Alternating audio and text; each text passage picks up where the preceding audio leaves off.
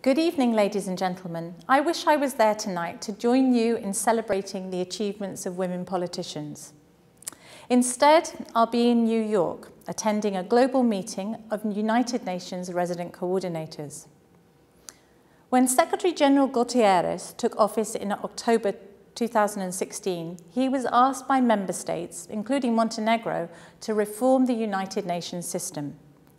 There are many dimensions of this reform, but one aspect he took seriously and actioned almost immediately was achieving gender parity at senior levels in the UN.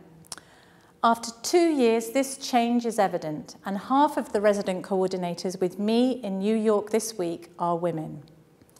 By doing this, he shows his commitment to Agenda 2030 and Goal 5, gender equality, Gender equality and increasing the number of the less represented sex, which is presently women, is why we're here tonight. The UNDP Gender Programme, supported by the EU delegation, has worked with the Women's Political Network to encourage the development of a generation of new women leaders.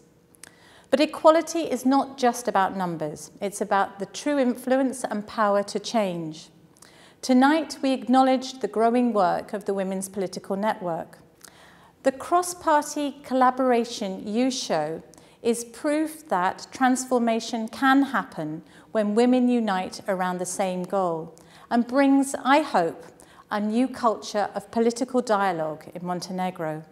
Political differences don't seem to divide you, they seem to make you stronger, aspiring to a bigger goal of more women in politics with a greater potential to change. I've enjoyed meeting with all leaders and their political parties in offices all over Podgorica. What we discussed behind closed doors in more than 13 meetings is becoming public tonight. I appeal to all the political actors we spoke to to hold to the promises that they made and to continue supporting the members of the political networks in their parties and their requests. I hope I will witness the changes envisaged, changes in the proportion and positioning of women in the electoral lists, changes in the funding and empowerment of women's groups within political parties, and finally, see greater representation of women in Parliament, including in key positions in the next electoral round.